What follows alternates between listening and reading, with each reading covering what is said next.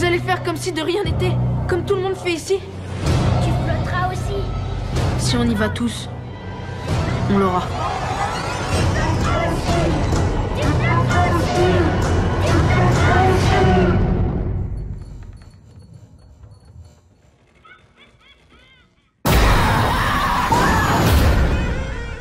C'est le genre de film qui me fait rigoler. Je vais regarder Conjuring 2, je vais me taire et je vais regarder. Je vais regarder The Shining, je vais me taire. Je vais regarder The Thing, je vais me taire. Je vais regarder euh, Massacre à la tronçonneuse, je vais me taire, quoique c'est quand même marrant. Mais vraiment, je rigole devant ça. Quand même. Faut dire quand même à quel point la société est tellement bien foutue qu'on est heureux quand on voit des enfants se faire massacrer par des clowns. Et j'aime bien. Enfin, dit comme ça, ça fait bizarre. Mais en fait, ça, ça donne vraiment quelque chose de plus original. Ça donne vraiment quelque chose qui, n'a pas été fait depuis un moment. Je veux dire, ça remonte à quand qu'on a vraiment trucidé des gosses? Comme le film Hit, ou ça, euh, enfin, comme vous voulez, a été fait. Enfin, franchement, je sais pas. J'ai eu l'occasion de voir l'adaptation de 90, et qui était assez bonne. Bon, bien sûr, avec euh, maintenant, avec les progrès numériques, ce film-là dépasse largement l'ancien. Mais euh, quand même, donc euh, bonjour tout le monde, aujourd'hui nous allons parler de ça, réalisé par Andres Muschietti, sorti déjà il y a quelques semaines, euh, que j'ai eu l'occasion de voir que maintenant. Euh, donc qui suit l'histoire d'un groupe de gosses, de jeunes adolescents qui vont, qui vont faire face à différents événements, à différents phénomènes paranormaux et vont se rendre compte qu'en fait ils sont tous traqués par une même créature donc qui s'appelle Pennywise, le cher clown que tout le monde connaît, le fameux clown tueur, bouffeur d'enfants qu'on aime tous évidemment et qui est magistralement interprété par, je n'ai plus l'acteur, euh, pour celui qui sait, vous me dites, de toute façon j'irai voir, euh, mais qui a été magistralement interprété et franchement je trouve qu'il fait bien son job. Je réponds aussi à une petite thématique qui a été faite, euh, ouais mais on comprend pas pourquoi il joue avec les gosses alors qu'il veut... En fait, la personnalité de Pennywise, c'est qu'il aime bien s'amuser. Il aime bien en fait, il, aime bien jouer avec sa proie, il aime bien jouer, avec sa créature, enfin avec, euh, ses victimes, avant d'aller les trucider dans son coin. Il, il, aime bien jouer avec. Ce qui fait du coup la force de ce film, c'est vraiment le fait de s'étaler sur des scènes qui stressent. Alors, Conjuring a fait le même principe. Vous voyez, le fait de je suis la meuf dans le couloir ou je suis le mec derrière le tableau. Bon là, c'est le clown derrière le ballon. En fait, c'est tout con, mais quelque part, t'as quand même une angoisse parce que tu te dis, bon, peut te foncer dessus à tout moment et c'est chelou. D'ailleurs, il y a quelques scènes comme ça où tu vois Pennywise et en fait, ses gestes sont assez chelous, sa gestuelle est assez étrange. Je pense qu'il le font en accéléré ou en numérique tout simplement, mais du coup, ça fait un peu. Enfin, ça fait naturel, mais justement, je crois que c'est ce problème-là, c'est le fait de vouloir faire quelque chose de vraiment naturel, de vouloir faire quelque chose qui, qui vraiment euh, dépasse le réaliste. Le problème, du coup, c'est que c'est plus surnaturel. Enfin, c'est plus vraiment quelque chose de paranormal. Parce que justement, quelque chose de paranormal, c'est quelque chose qui n'est pas. Euh, comment dire Qui dépasse la réalité. Je sais pas si j'arrive à me comprendre. C'est comme ce que je disais avec Alien. Euh, avec Alien Covenant, par exemple, en fait, vous voyez l'alien fait numériquement, donc bon, on est d'accord, on va pas voir un alien à chaque coin de rue, on est d'accord, mais euh, je sais pas comment expliquer, par rapport au film d'origine, où l'alien était fait, on va dire, avec un costume, ça faisait quelque chose de plus organique et vraiment de plus bizarre, en fait. Je sais pas comment expliquer. Maintenant, le numérique permet vraiment de réaliser des images assez incroyables.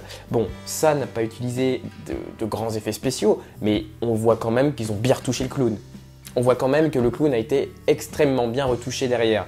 Donc euh, après, je sais pas trop.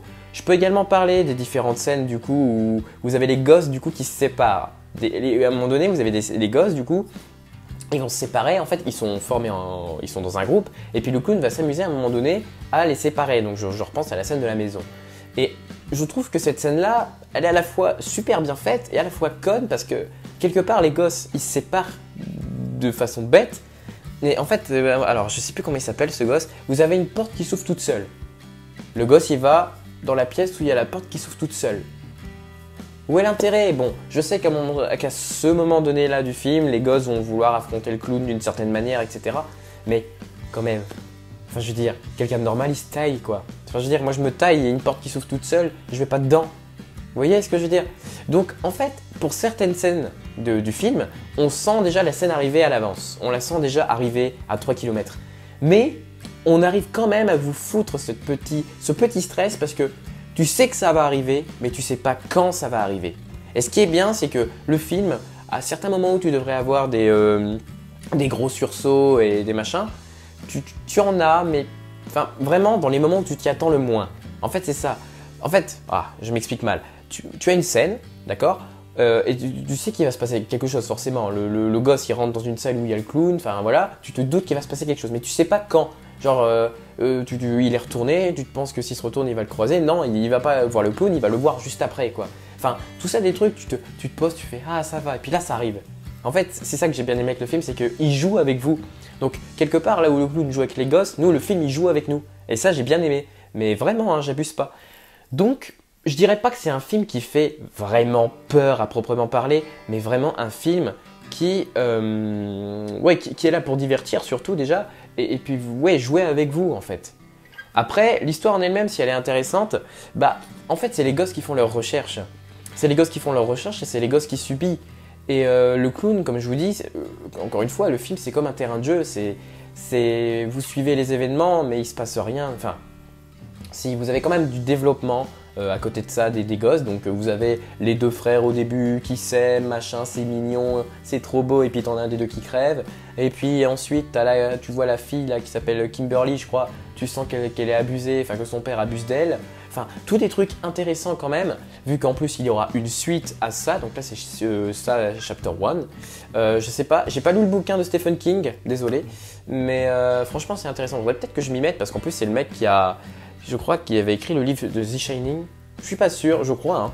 Donc voilà, je pense que ça, en soi, est un film très bon, très correct. Il n'y a pas à critiquer ce genre de film. Alors après, bien sûr, si vous n'êtes pas euh, branché film de thri- thriller, bah, de toute façon, je pense que vous irez pas voir le film forcément. Mais euh, bon, si vous voulez aller voir ça pour la déconne, avec, entre potes, surtout, je pense que c'est mieux entre potes. Franchement, allez le voir. C'est marrant. Enfin, c'est marrant.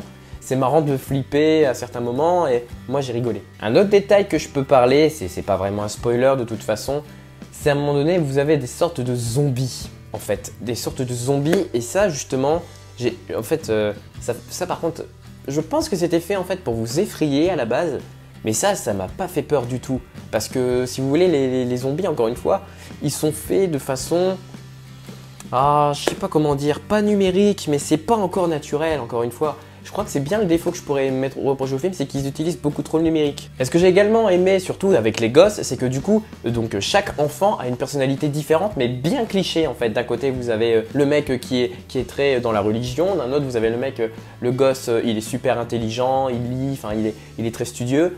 D'un autre, c'est le gosse, je sais plus, non, je sais plus, ouais. Il y a d'un autre, c'est le gosse, il va pas arrêter de jurer, enfin, tous les clichés de, gosses, d'adolescents de nos jours. Et ça, c'est intéressant. Parce qu'en fait, ils vont avoir chacun leurs problèmes de leur côté, et quelque part, après les événements du clown, euh, bah, tout change après. Et en fait, c'est ça qui est intéressant, c'est qu'il y a un message, je pense, qui, passe à travers ce film. Euh, c'est que quand vous êtes tous ensemble, vous êtes forts et vous oubliez vos problèmes. Enfin, merde, j'ai du mal à m'exprimer aujourd'hui. Je suis désolé, j'ai pas fait de critique à vie depuis un petit moment, mais voilà. En fait, ce film, ce qui est bien avec ça, c'est que généralement dans un film d'horreur, vous avez, on va dire, une petite pause une petite pause, on va dire que pendant certains, certaines séquences, vous savez qu'il y aura rien et que du coup, ce sera calme. Là, on n'en sait rien en fait. On a l'impression qu'ils sont constamment observés et c'est ça que j'ai aimé. Donc oui, ce film a quand même une ambiance assez dark. D'accord? Le rythme est très lent à certains moments, peut accélérer à d'autres. Hum, l'esthétique du film est très beau, d'accord? En fait, c'est ça, c'est que le film en soi est très sombre et le clown, lui, est. euh, comment dire ça?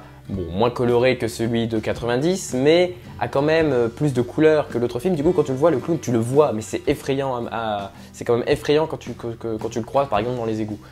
Mais euh, voilà, donc le film a un style à lui. J'ai pas énormément de choses d'autres à dire sur ça là maintenant tout de suite parce qu'en fait je vous explique, je suis en train de faire l'écriture de plusieurs vidéos et de plusieurs critiques à vie et du coup euh, pour ça on va dire que c'est un peu improvisé. Mais donc voilà, c'est tout ce que j'avais à dire sur ça pour aujourd'hui. Euh, si vous avez des questions, n'hésitez pas. J'ai prévu de faire peut-être une FAQ. Donc si vous avez des questions, encore une fois, n'hésitez pas à le mettre dans les commentaires. D'autres vidéos viendront, plus une vidéo vlog, parce que les vidéos, euh, il y en a qui sont pas sorties depuis un moment. Vous inquiétez pas, j'ai pas oublié. Donc voilà, sur ce, je vous dis à la prochaine. Et puis on se reverra sans doute pour la critique à vie de Thor Ragnarok. Sur ce, je vous laisse. C'était Skylive. Ciao